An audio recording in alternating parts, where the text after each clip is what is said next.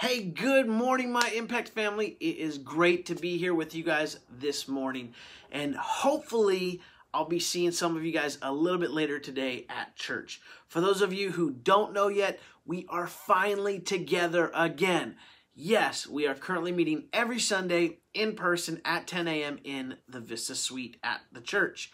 Adults are in the main service, kids have their own service, and we have ours upstairs every single Sunday. Why do I say that? Because I want you to tell your family that we have something for everyone on Sunday mornings once again. And we would love to see all of you here with us Sundays at 10 a.m. Plus, don't forget that we have our weekly Zoom every Wednesday at 7 p.m. We hope to see you guys on that as well.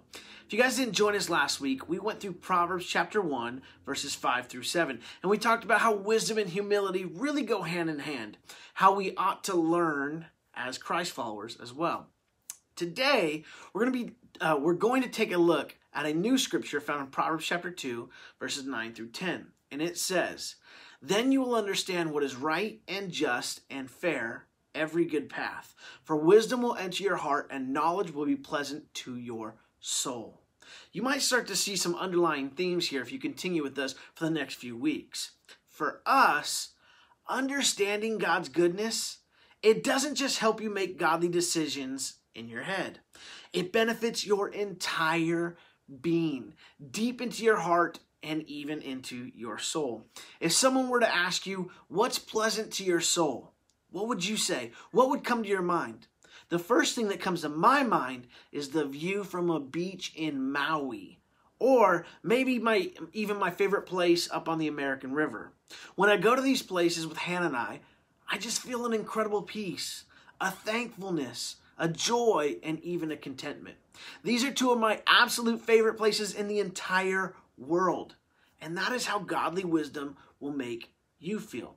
It puts your soul at peace when you understand who God is and who He's created you to be. So if your heart's filled with worry, anxiousness, fear, sadness, Start with getting to know Jesus better. Start by spending quality time with Him and in His Word. The promise is there. His truth will be pleasant to your soul. Let me encourage you, real quick, before we go, to allow God's truth to reach into the depths of your heart. So, whatever is standing in, in the way of that, release it.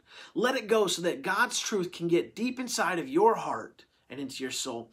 It will be, like his word says, pleasant to your soul. I love you guys so much. I'm going to pray. Father, I thank you for today. I thank you that we are still able to do this online and even now in person. God, I ask that you would bless our students, bless our leaders, bless those who are watching this video this morning. God, I ask that you would just allow your truth to be pleasant to their soul because that's what your word says. That's the promise. So, Father God, I pray a special blessing over those watching this video. I love you. I thank you. It's in Jesus' name. If you guys agree, would you guys say amen? Amen. I love you guys so much. Can't wait to see you guys later today or on Wednesday, Zoom 7 p.m. See you guys then.